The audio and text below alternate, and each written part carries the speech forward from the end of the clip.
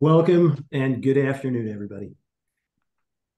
You've been listening to Shlomo Artzi's Latet V'Lakachat, to give and to take, and the song and its lyrics are quite suitable, in my humble opinion, for today. Um, he says, I learned how to fly, but not to fall. And we all need our own word, our own thought, a place to know not to be afraid of the fear.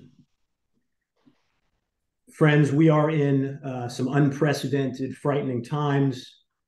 There have been more Israelis, more Jews killed on any day at any one time since this past Saturday than any single day since the Holocaust. The death toll is well over 1,200 and unfortunately rising. A toll that includes not just soldiers, but civilians of all ages, as you know, women, the elderly, children, and yes, babies uh, butchered, and as we now understand, uh, uh, even beheaded. There are thousands more wounded, and of course, there are 125, 150, maybe more hostages being held by Hamas and Islamic Jihad.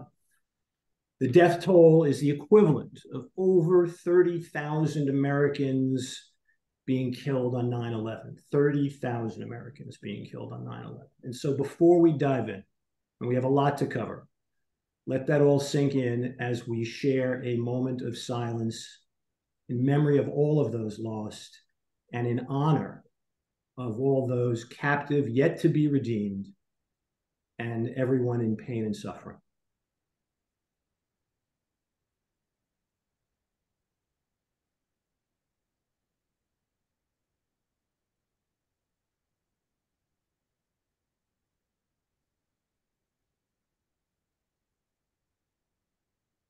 Okay. My name is Danny Schultz, and on behalf of the Westchester Jewish Council, I am honored to be hosting today's event, part of the WJC's successful Israel Connection series.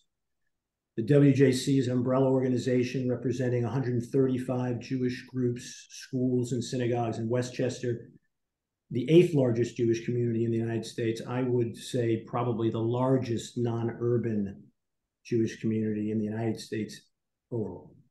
As you know, we've been hit with an unthinkable tragedy of barbaric act.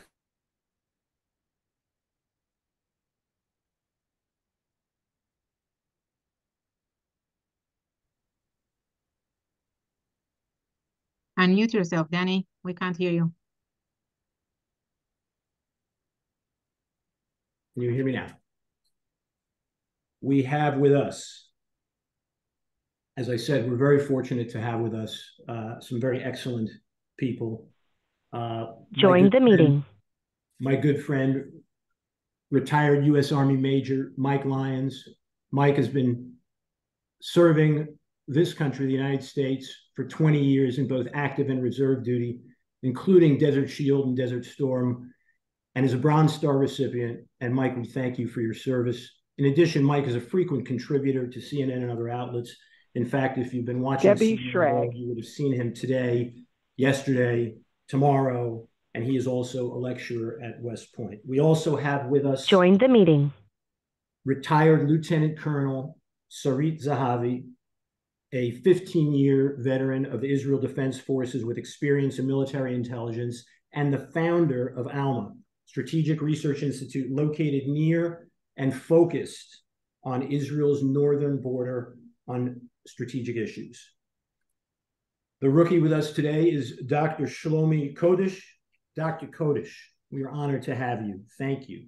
He has been the Director General of Soroka Medical Center in Beersheba, a key medical center in everything we will discuss since 2018. He's a master's in public health, graduate of Ben Gurion University Medical School. He completed his residency at Soroka Medical Center, a postdoctoral fellowship in medical informatics at Yale University, and he has a master's degree in public health. And with us as well, hopefully joining us as well, uh, Mike Wagenheim, senior U.S. correspondent for I-24 News. Mike's covered the Knesset, the Prime Minister's office, the White House, U.S. elections, Israeli elections, and all other topics in between. Uh, so uh, let's get started. Uh, the other day, I heard the deputy mayor of Jerusalem, uh, Fleur Hassan Nahoum, say that we are in a civilizational war. And just with a little historical perspective for, for uh, some of you, we, Israel, left Gaza, I believe around 2005, evacuating 7,000 settlements for Gaza to become autonomous. Now, fast forward, we're in day five of this great tragedy. And um, I'm going to start, Mike, with you. I'm going to pull up uh, some maps and uh, Let's see if I can make our systems work here.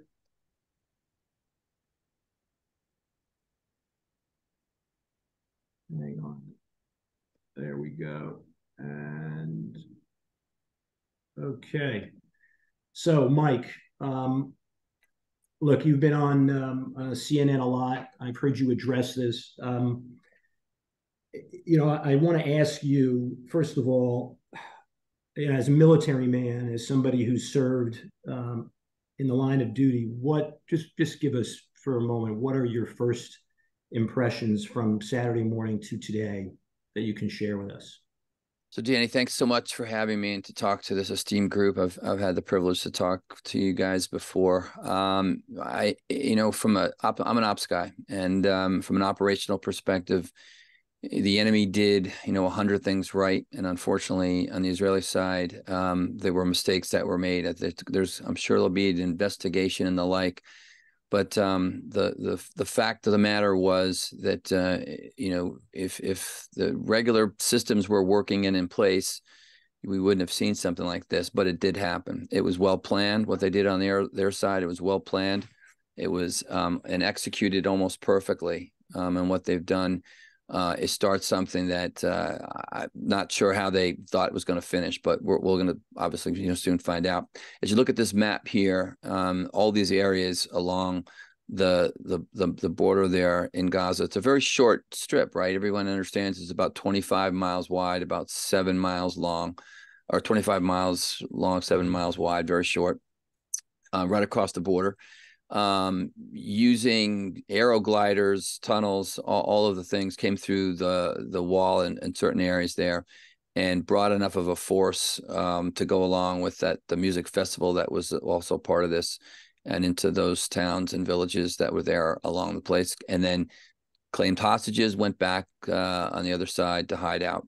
Um, I've been focused in the last few days uh, in in the north in in Sderot uh, as well as in Ashkelon uh, with with CNN forces that are there, and then also in in Be'eri. Um, only because we're there with the media there, you're seeing this, the tragedies of what what was left behind, and and and the and the savagery of what this enemy did uh, and what they've caused, and I think what's caused it to escalate so far. So it's really not even a military attack; it's more of a terrorist attack. It's there's so many 9/11 analogies that you can think of uh, and um, and now you know Israel is responding like they should.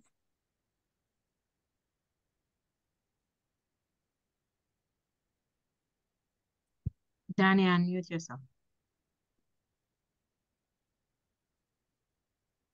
Danny, we can't hear you.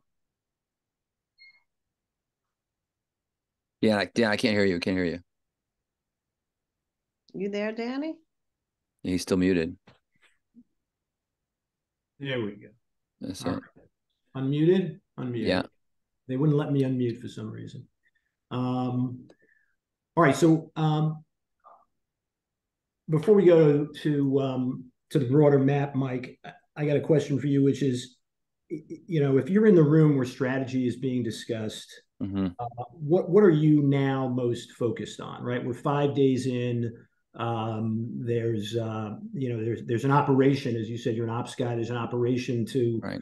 uh, discuss and and prepare for and execute. Um, you know, talk us through that. What goes through your mind if you're the guy in the room right now?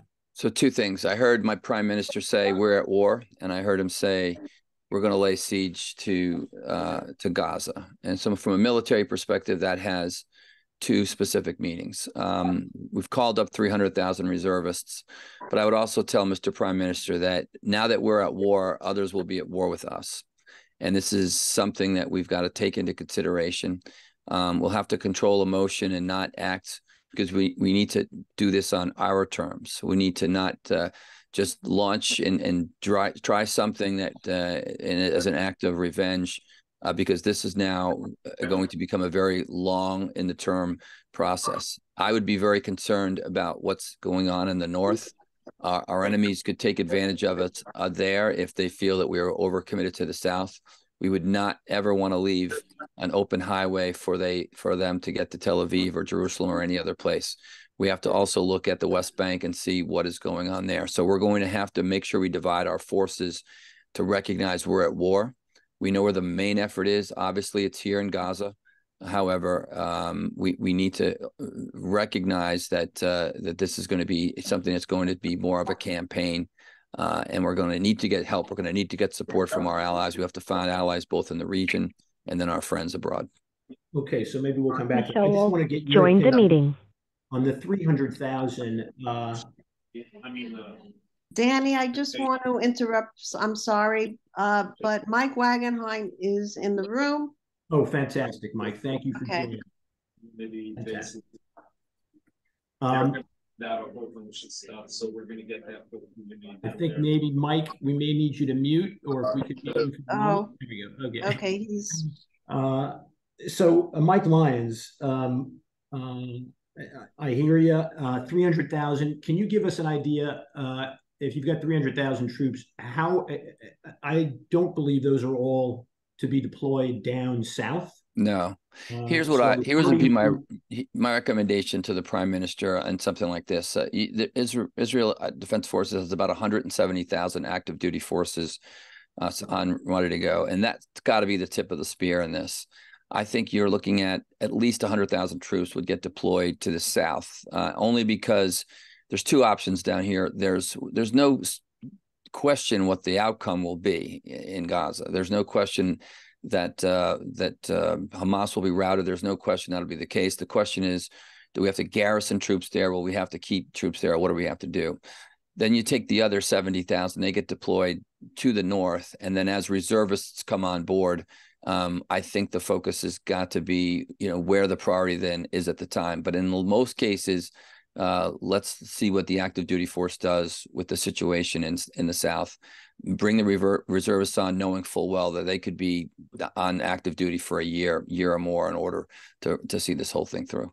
Right, right.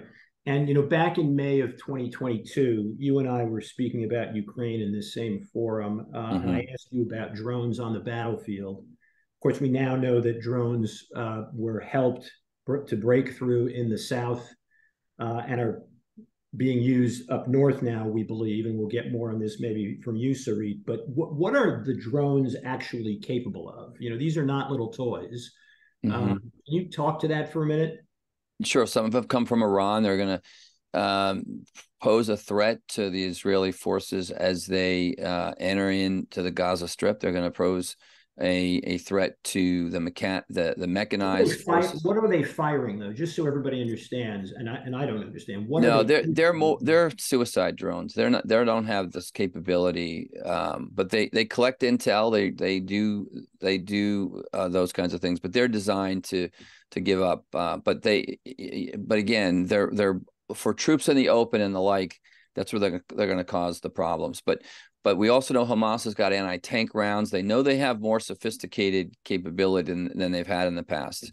They also know that if they've planned for this offensive operation, they've planned for the defense. So, so, so that's why any any offensive operation before it starts has to be very specific, deliberate, with well rehearsed. They have to figure out how we're going to accomplish, uh, you know, the objectives in these kinds of areas.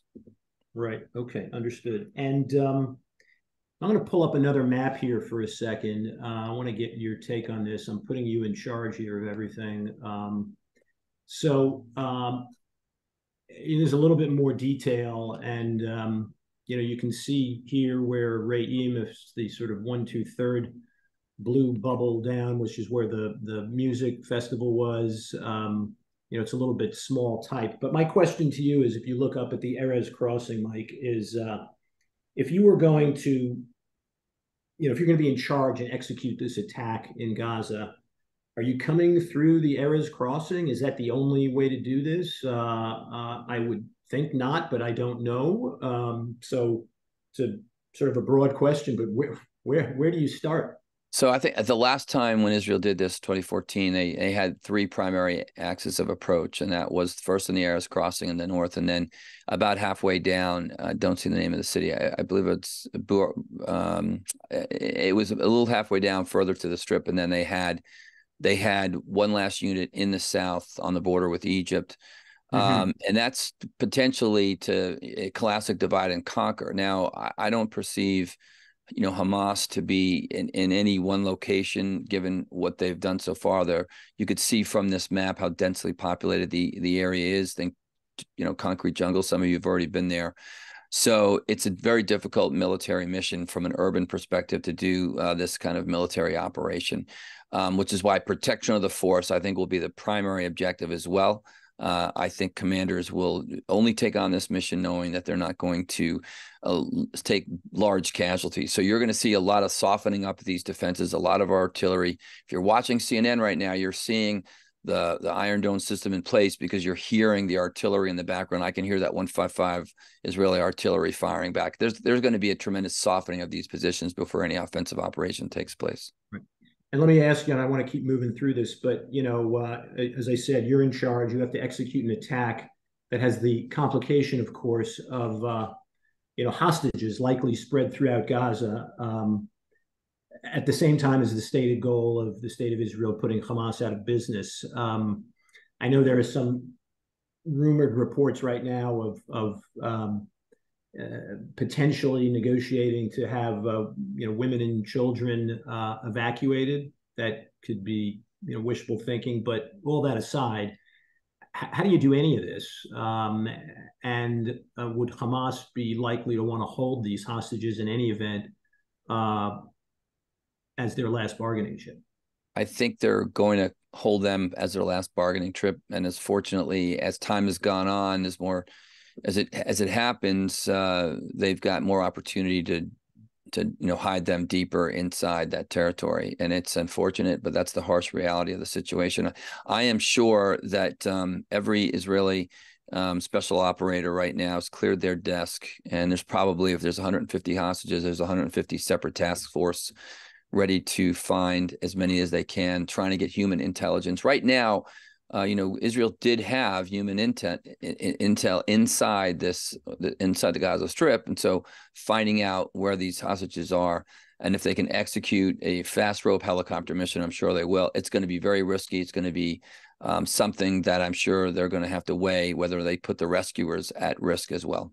Right. Okay. Thank you. So, Mike, one more question before we turn to the north, uh, is. Um, how long does this take? And you know what's the casualty list? I think i think time is going to be on the side of israel here and um, there sh- they shouldn't be rushed into a fast operation uh, for the sake of uh, you know, revenge and, and, the like.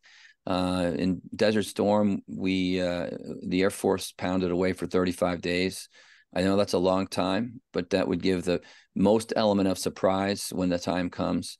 Uh, they've got to be make sure that this these defenses are very soft. They're not. They've not been softened up enough. They, the, the the bottom line is Hamas is still firing rockets today, right. so they have capacity still.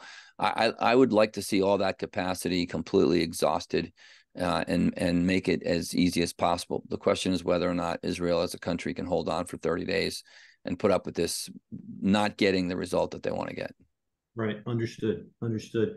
Um, and, and you made a great point. I, I heard Ehud Barak uh, uh, on a, some broadcast the other day saying uh, that he's always felt that boiling blood is not a good recipe for making strategic decisions. Anger must give way to cool, calculated thinking. So it, yep. it seems hopefully that that's the case. Um, Sarit, Lieutenant Colonel Zehavi, uh, everybody, you know, uh, don't take this the wrong way, but you're the elephant in the room. Everybody wants to know what is going on up north. What can you tell us? The last time we spoke was May 2021.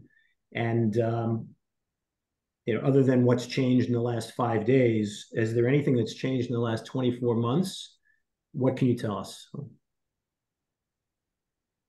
I just want to start from uh, describing you my afternoon. I'm speaking to you from a shelter. I am uh, based uh, here, I don't know, 12, uh, maybe 13 kilometers from the Israel-Lebanese border. Uh, I was walking, my office is just upstairs. I was walking uh, at the office and I was about to go on Zoom to participate in a conference in the European Parliament in Brussels, which I was supposed to be in Brussels and eating the chocolate, but I'm here. And they brought me on Zoom. And the moment I pressed join Zoom, I hear the alerts. I switch off the Zoom, we run to the shelter, and then I switch it on again. Then we hear another alert. And everything here went crazy. And we don't know, you know, until now, it looks like it was false alerts but uh, the tension is extremely high. And we are after a few days that uh, the northern border is not quiet. In, in regular times, things that happened here in the northern border in the past few days would lead to war in the northern border. Mm. Because we had anti-tank launching here against IDF vehicles and positions, which I don't know yet uh, about casualties IDF uh, didn't publish yet. Uh, we had an infiltration of terrorists that killed two IDF soldiers. One of them is a senior officer, the deputy commander of the brigade, hmm. and uh, his driver. Both of them are Druze from towns next to where I live. Uh, they killed the two terrorists, and the third one uh, fled back to Lebanon. We had rockets launching in the Western Galilee, not far from where I live. Uh, five minutes from home, there were alerts everywhere. And luckily, Iron Dome intercepted the 10 rockets and five rockets fell in open area. Uh, and there were more anti-tank launching that uh, in the past few days, other than the one this morning. So I heard a couple of hours ago, and I and so I want to ask you again, uh, just to make sure it's clear for everybody else. Uh, I did hear a couple of hours ago that um, there was some infiltration, there were some drones and possibly paragliders, but that could all be not at all accurate. The, the spokesperson of the IDF yeah. went uh, to a press conference and uh, clarified the situation and said that nothing penetrated to Israel and it was false alarm. But uh, what can I tell? Uh, false alarm once, false alarm twice. We had like four times alarms. Right. Uh, which were all false alarms within an hour.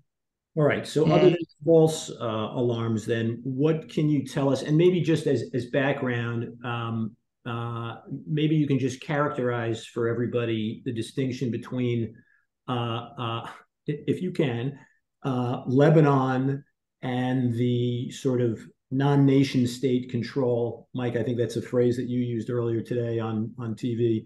The non-nation state nature of the control that Hezbollah has uh, in southern Lebanon. Um, One minute. Sure. I just want to finish the situation here. I'm sorry.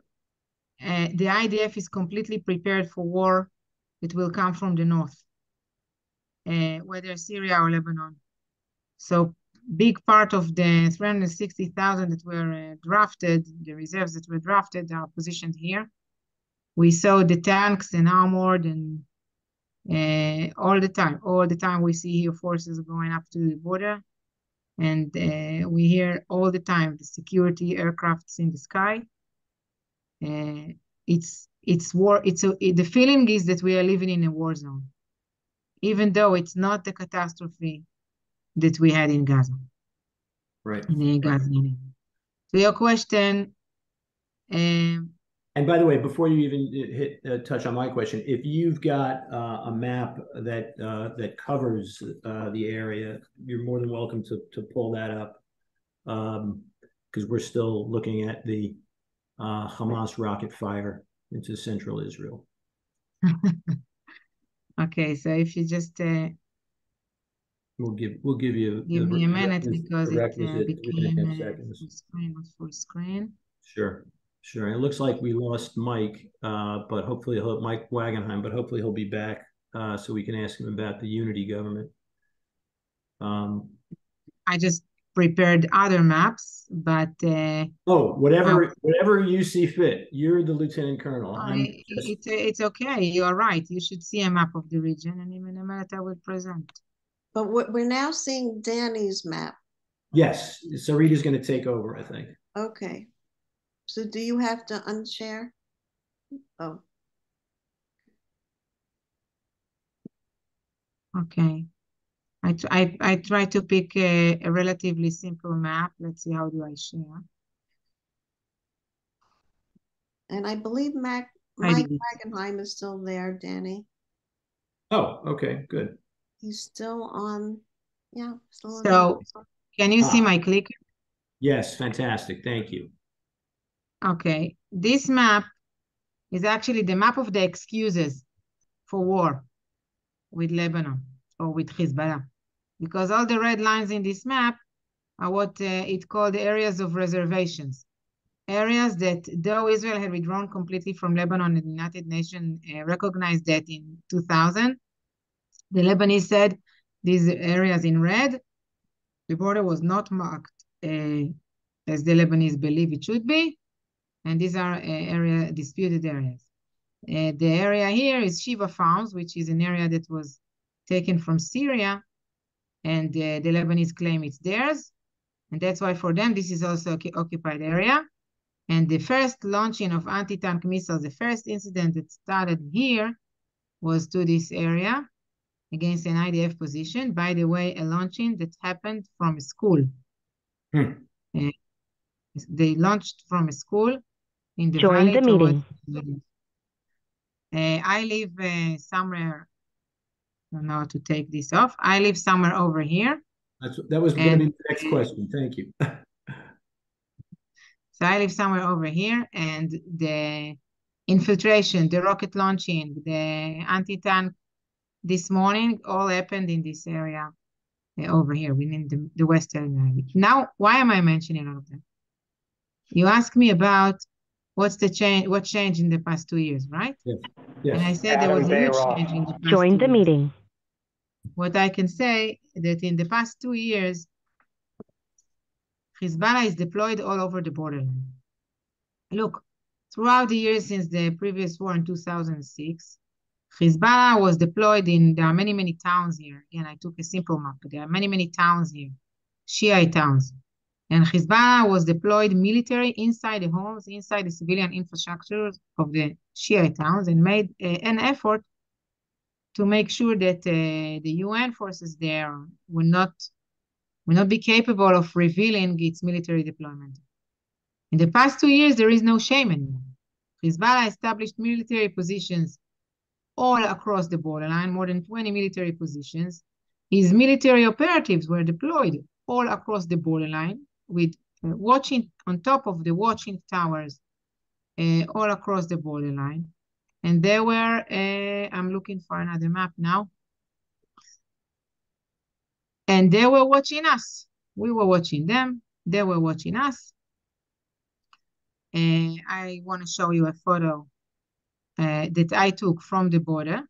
Mhm. And I have plenty of these uh, of a Hezbollah military operative watching me. At first, they were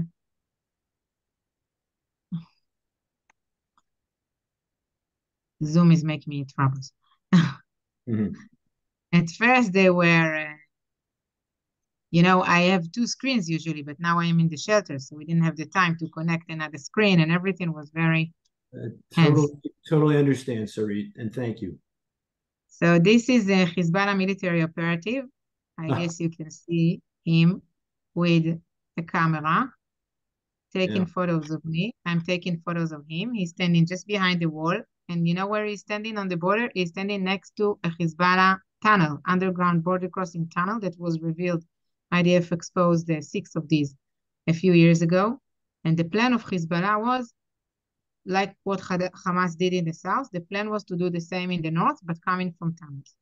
And IDF blocked the tunnels. And since IDF blocked the tunnels and it neutralized the capability to come with the hundreds or thousands of uh, soldiers from the tunnels, there were constant clashes and there were the building of these watching towers and uh, the whole borderline just changed. And uh, more than a year ago, we in Alma Center pointed that Hezbollah is interested in escalation on the borderline, maybe in, even in war. Actually, we described the scenario that happened in the south. We thought it will be from the north. What I'm trying to say is that the capabilities that you saw of Hamas, everything exists in Lebanon in the hands of Hezbollah, and 10 times more. The uh, arsenal of rockets of Hamas Comparing to Hezbollah, Hezbollah has 10 times more rockets than the arsenal of, uh, of Hamas. Trying to find the numbers. Uh, these are the numbers. Uh, 145 rockets, it's small shells of. Uh, can you, you share can that, if that's, a, if that's a slide? Yeah, yeah, yeah, yeah, yeah, yeah, yeah. 145,000 rockets, uh, our mortars, uh, they get to a range of uh, 20 kilometers, 65,000 rockets that can get to a range of around 200 kilometers, maybe less. 5,000 are can get rockets to wider range.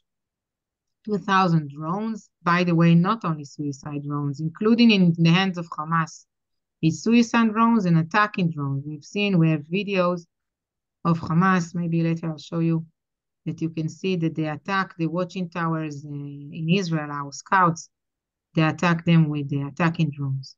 They published the video. Uh, and hundreds, a few hundreds probably of uh, advanced weapons, including uh, PGMs, precision guided missiles, that can carry out attacks against all Israeli civilian infrastructure. Why am I saying that? Because Nasrallah promised he would do so. As simple as that. He presented the map a few years ago and he said, these are the infrastructures in Israel and I can I have missiles that can get there. Right. So you just mentioned you I think I heard you say that Assad uh, said that he would do that. Nasrallah. Assad uh, is not Nasrallah. Okay, you said Nasrallah because I do want to touch on. Uh, you mentioned before Lebanon and Syria. Uh, I, am getting to that.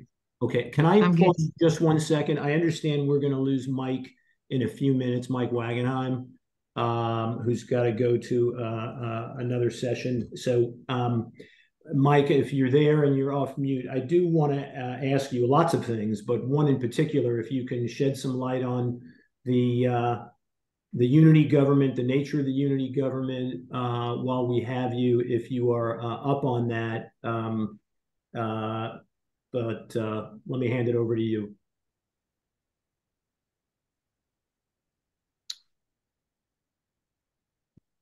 To the extent we know anything about it at this point.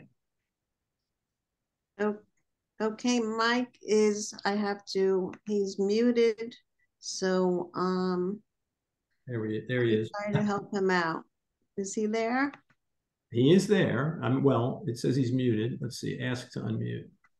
There we go. Okay, you got me now. You got you, Mike. Thank you. Beautiful. Okay, so to your question, uh, Danny, uh, promising development certainly uh, based on well, based on um, what we have, um, you know, the internal tensions that we've been experiencing um, in Israel for uh, nearly a, a, year now. That the fact that uh, the unity government was um, formed today. It's it's narrow. It's not a broad swath of um, the political spectrum like we saw in the unity government uh, in the uh, the Bennett Lapid days. Uh, this will be very narrowly tailored and only meant to address uh, the war situation. Uh, there will be no bills that can be advanced uh, through the Knesset other than to deal with the war and related issues. That means judicial reform is on hold for the time being, along with a lot of other things that were making their way through the Knesset.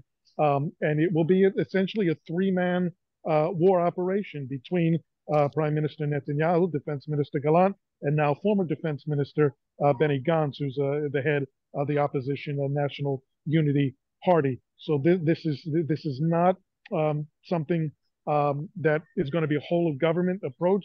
Uh, it's not a turning of the tide in terms of Israeli politics. It is simply uh, a necessary element for the war to display unity. And and while the um, the government might not say so, it's to make sure that the most responsible people are in the room. There was fear not only from the opposition, but within the government as well, that there were too many unexperienced and oftentimes um, potentially explosive elements uh, making national security decisions. This will be a narrowly tailored um, a group of experienced people, whether you agree with them politically or not. They've managed mm-hmm. wars before, all three of them. Uh, and so this is what it's tailored to do is simply to manage the war effort over the coming days, weeks, months, what have you. This is going to be a long, hard experience. And, and we have, uh, we being Israel, have experienced people now uh, in the room managing that effort. So, uh, uh, so have any portfolios, have any cabinet positions changed, or what's the nature of the power sharing? What, what, what is? Uh, I'm not hundred percent getting it, unless I'm being thick. You're not being thick at all. This is uh, this doesn't happen very often, where you bring uh, people from the opposition into the room to manage this effort. This has nothing to do with ministerial rules uh, roles whatsoever. There, there was no political deal on the table that now the National Unity Party gets to um, have uh, various ministerial roles. It, it, has nothing to do with that whatsoever. It is simply narrowly tailored to manage the war operations itself. Benny Gantz does not become defense minister. That remains in the hands of Yoav Gallant. He doesn't have any official title that that I know of. Uh, it and and there are going to be two observers from the opposition that were brought in as well. Uh, uh, Gideon Sa'ar and uh, Gadi Eisenkot, another uh, former IDF chief of staff, who will serve as observers in the room and lend their experience uh, to the war effort as well. This has nothing to do with the day to day operations of the government itself.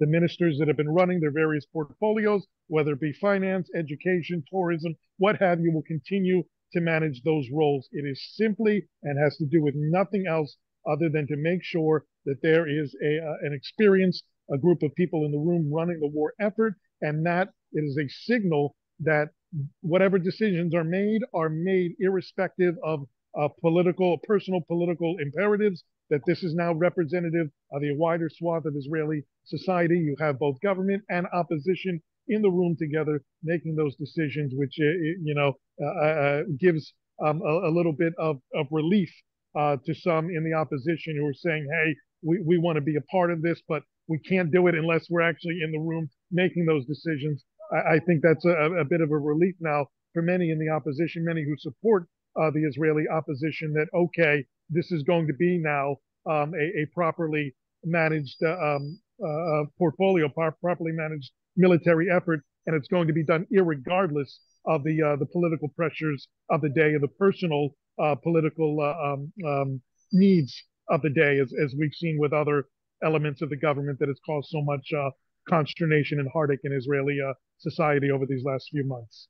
Understood. Understood. Okay. Extremely helpful, Mike. And I know if you have to run, go ahead. I, I do want to turn back to Sarit and make sure we we uh, address um, okay, just to finish uh, my point uh, to your question about uh, what is Lebanon, and then I believe that I will have to leave as well.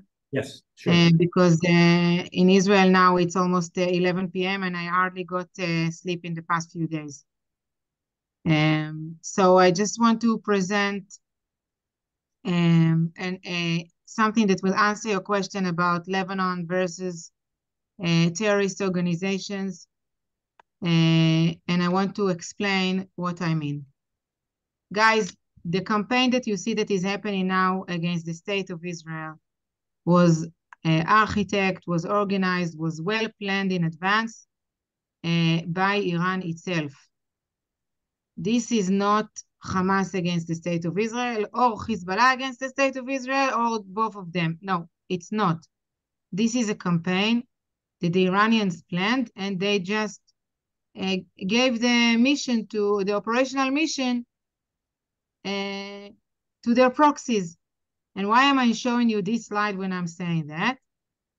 Because what Iran had done in the past decade is building these proxies everywhere in the Middle East, in all these countries that you see in the slide. Uh, they took mm -hmm. advantage of the civil war in Syria and the civil war in Yemen. They fueled the civil war in Yemen. And they ended up in a situation that they have proxies all over. This slide is based not on research. This slide is based on an Iranian video named Joint Operation Room. There is no joint operation, okay? That they showed the vision, what they want to achieve symbolically. And they showed that they have all these proxies. We took, you know, the symbols on the patches on their shoulder, and we just put everything in one slide. And we analyzed from where they are coming. And they said, we have a joint operation room to attack the state of Israel and liberate Jerusalem. This is the mission, okay?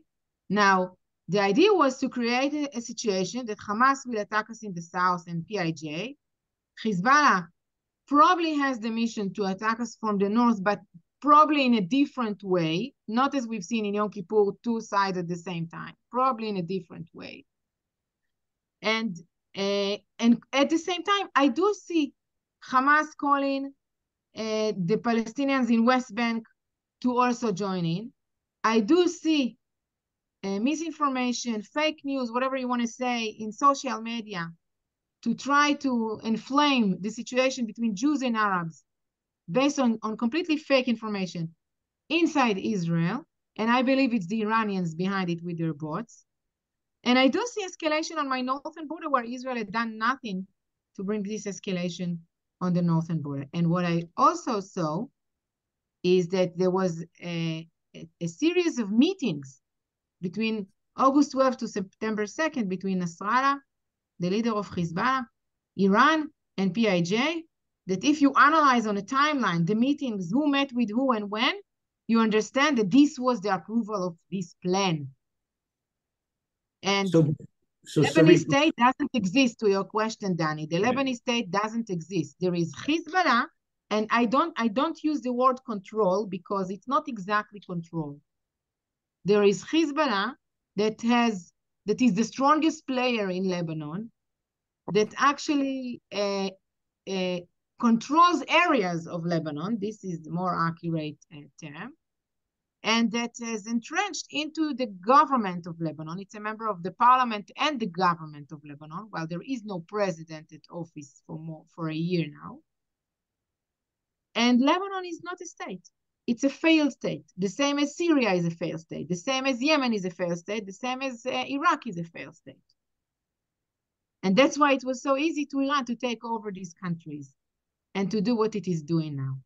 And my closing message, I'm sorry, I just have to leave my Yes. closing message to you, brothers and sisters in Westchester, is that if we will not fight this and we will, you know, contain and keep the Northern Arena uh, limited and, you know, everything will be fine and we will continue to live under the threat of, as you've seen in my slides, almost 200,000, around 200,000 missiles and drones and whatever everything that happened in Gaza will happen again. In Gaza again, in the north, the amount of casualties, everything will happen again. What my lesson as, as an ex-officer in the army is that the Israeli strategy of deterrence and uh, containance and the fact that we can live with the capabilities of uh, uh, terrorist organizations on our borders, no, we can't this ended now. And now we have to fight that and make sure that my children will be secure, not only when the IDF is full scale recruited, but also in times of routine, because there is no routine in Israel. I know you have to leave, but it sounds like you are portending uh, a uh, indeed a multi-front, uh, long, drawn-out uh, war uh, or series of of wars that go on for a while. Uh, hopefully not, um, but um, that was a very clear statement about uh, yesterday's strategy has to be thrown out and torn up, and it's a whole new day. Thank you for having me. Thank you uh, very much, and uh, I do want to on that note, turn uh, to Dr. Codish. And, um, you know, in all fairness, we perhaps should have started with you because you uh, you dealt with this from the second it began Saturday morning. And uh, I think we all want to thank everybody who's been on the call, but we want to thank you and your entire staff for the long hours and the difficulty that you have had to deal with since Saturday. And uh, I'm just going to turn it over to you to tell us what those first few hours and day was like, um, what you do at Soroka, uh, and how things are going. Uh, thank, you, thank you for the invitation. Um, I, I also have family living in Westchester County, so um, or in your area, so I feel uh, somewhat connected. I've been to synagogue. I've been to synagogue, and I think uh, something with Kisco is the name, or oh, sorry, I should have looked it up before getting out the call. Anyway, uh, I have a cousin who lives in Katonah. Um, let me let me tell you a little bit about Soroka before I start. Let's see if I can get this shared correctly. I guess I need to do this. Let's see. So is this is hmm, editing? Yeah, we see it. Okay, I'm trying to get it in full screen mode. Ah. There we go. Okay, so let me just very briefly tell you about Soroka. Soroka is one of Israel's uh, uh, tertiary medical care centers. We have six. We're the only one in southern Israel. And as you can see from the map of Israel, we care for about 60% of the area of Israel. It also means we're the primary and only tertiary medical care area serving for the entire area we've been discussing uh, for almost the past area. Um, and I'm really not going to spend too much time. This is this is what we look like a fairly large campus, uh, originally designed uh, to be outside of the city. Um, and now we're sort of dead in the center. And it's some other opportunity, if I get a chance to tell you more about Soroka, I'd love to do so. So let me go back to Shabbat. So Shabbat morning, around 6.45, um, rockets started going off in Beersheba. Uh, air raid sirens started going off in Beersheba.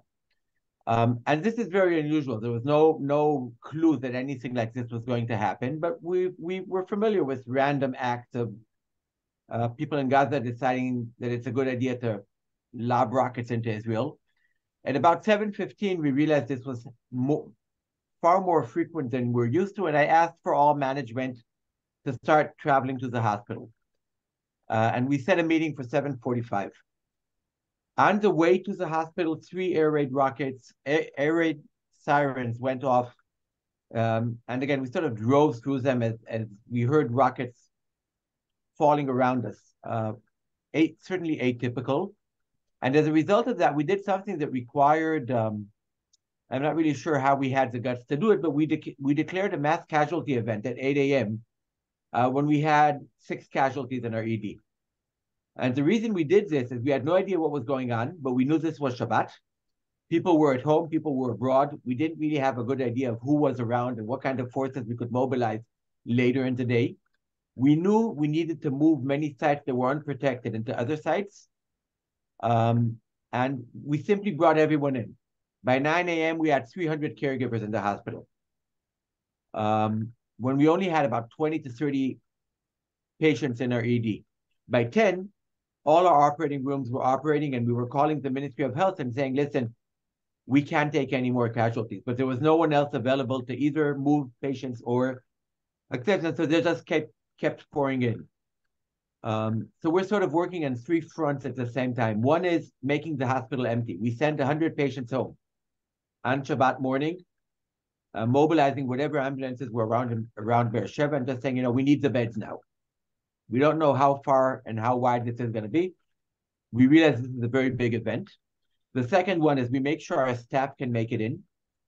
Um, many of our our staff lives to the west of us. Um, expecting an operating room nurse to leave her children at home in Ofakim hmm. is not something that's going to happen under this scenario. And we need to figure out who we bring in and what kind of forces we have available.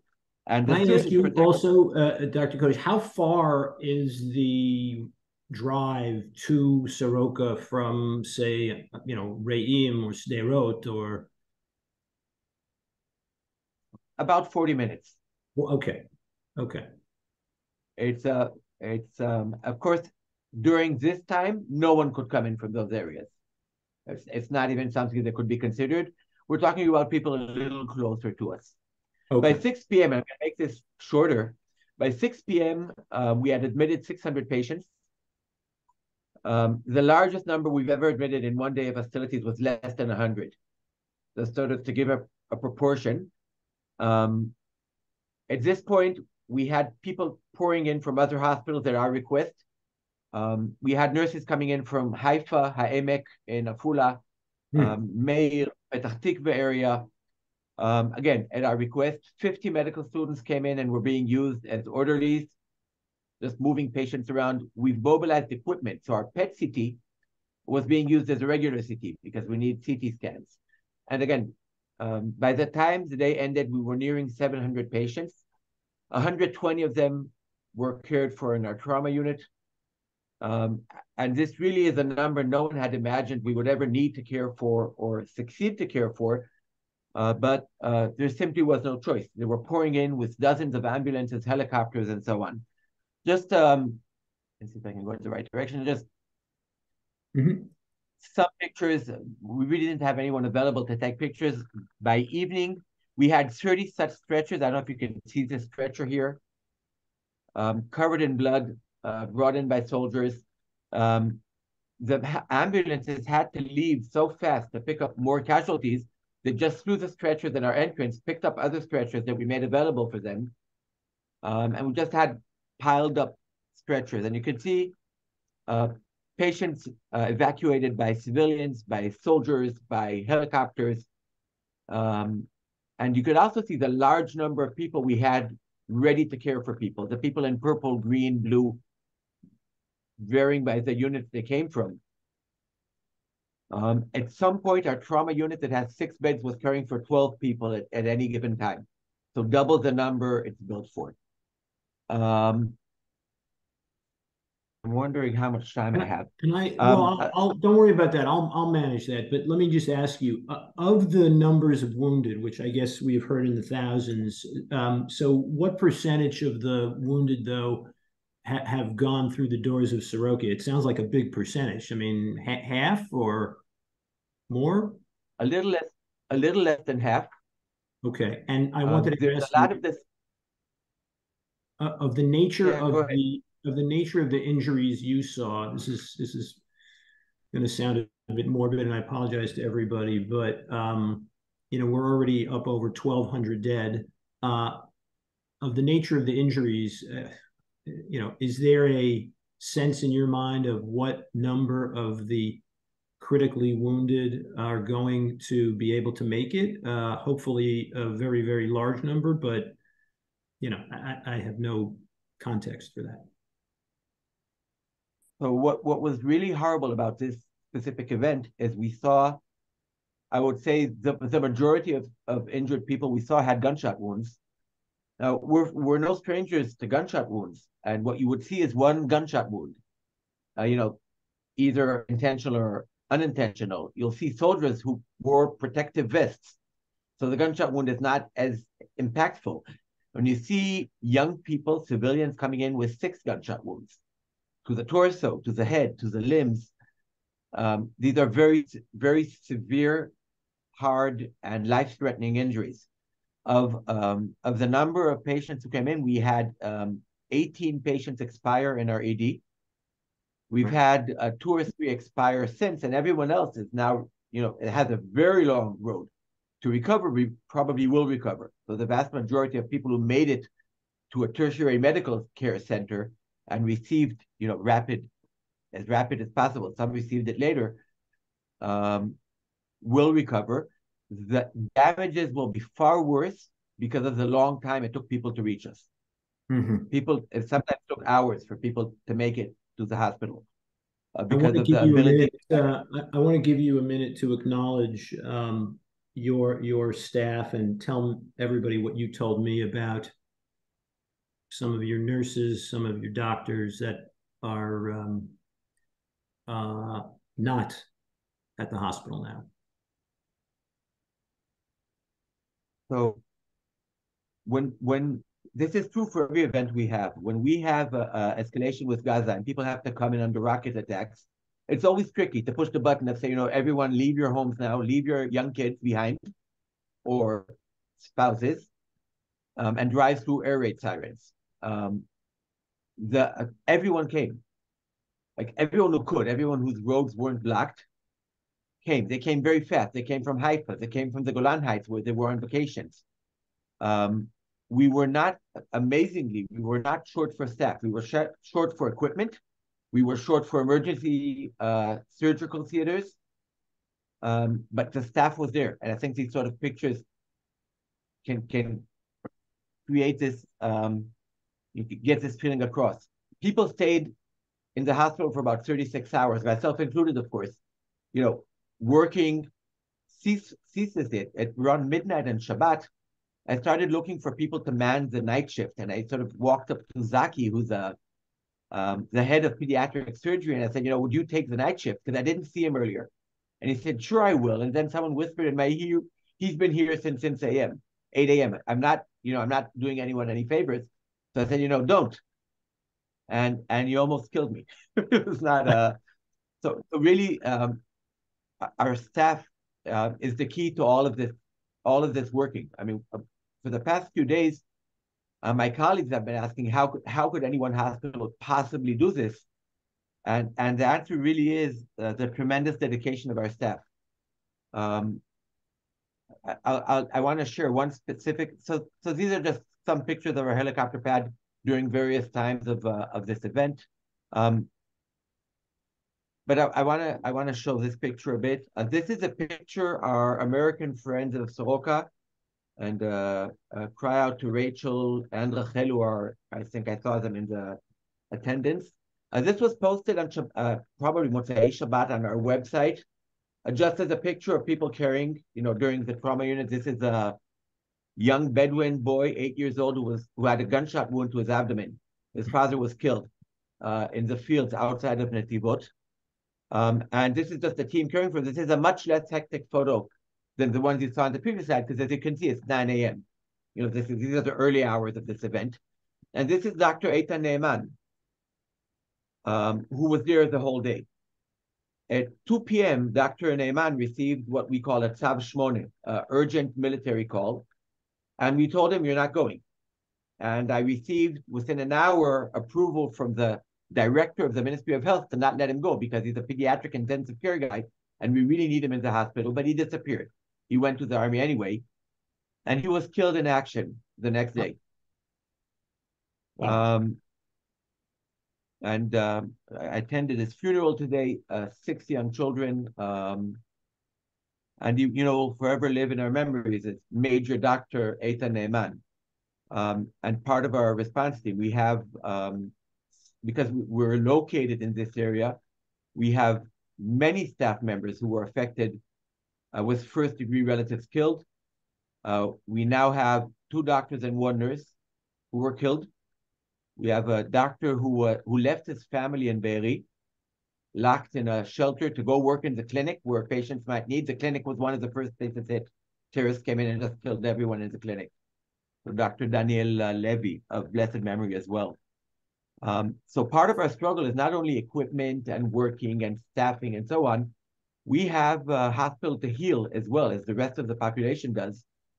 And um, last night when I went to the pediatric intensive care unit, one of the, you know, where Dr. Neyman worked, one of the nurses asked me if he can talk to me quietly on the side.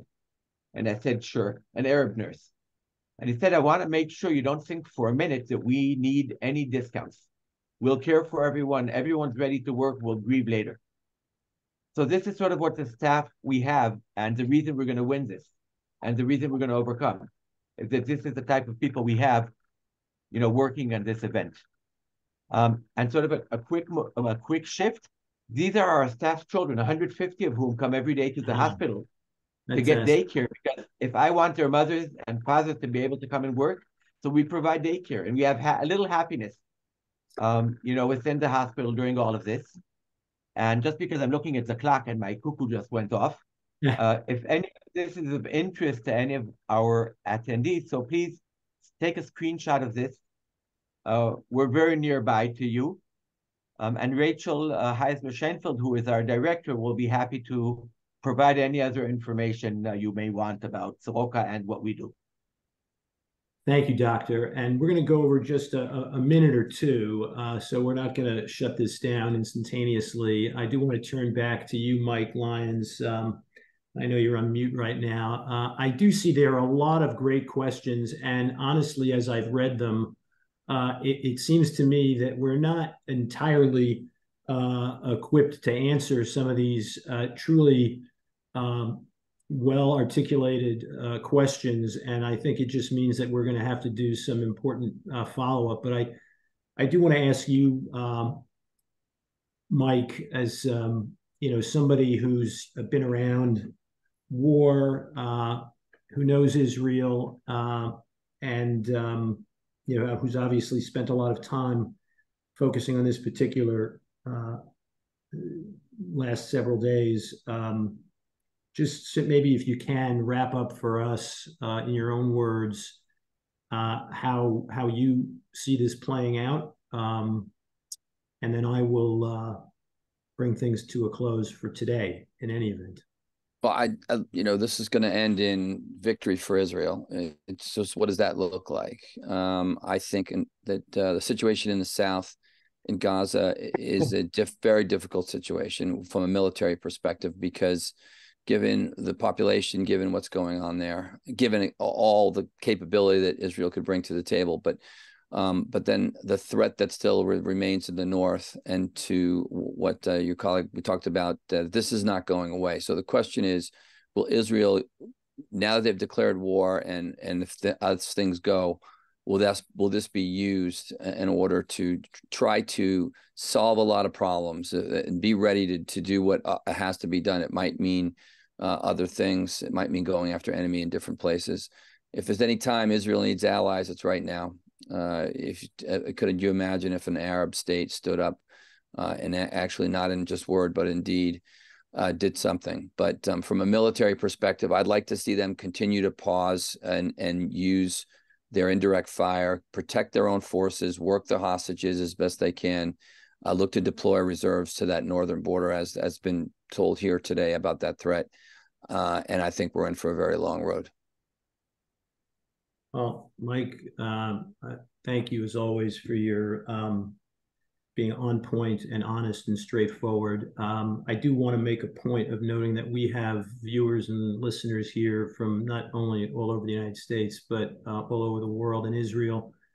And we have individuals whose immediate family members are um, indeed uh, protecting all of us on this call uh, who are serving in the South and in the North.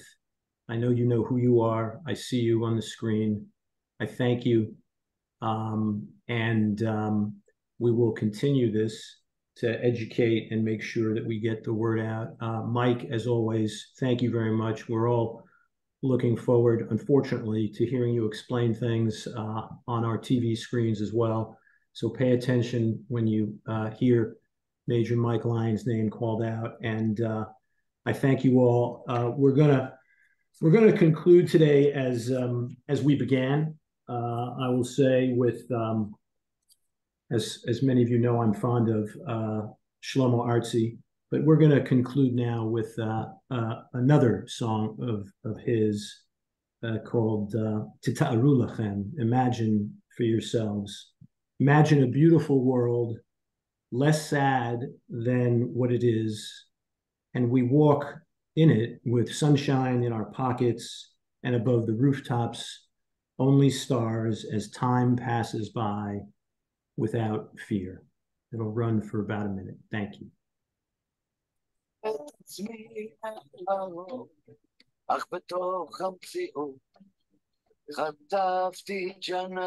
We're going to actually have to play the right song.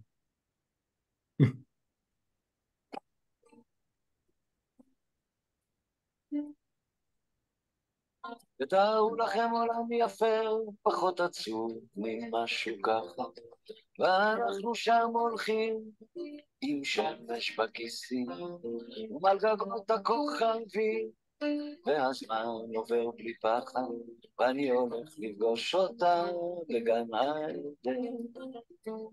תתארו לכם קצת אושר, כי הוא כל כך, כל כך נדיר כאן, עיר מגניבה בתוך החושך. ושנינו בשמיכה, ואם לטפת אותי ואומרת לי מחר יקרה מה שרצית, ואם לאט השתקפויות של עצם ושמחה. כן, ירדן. היי. Thank you. טוב.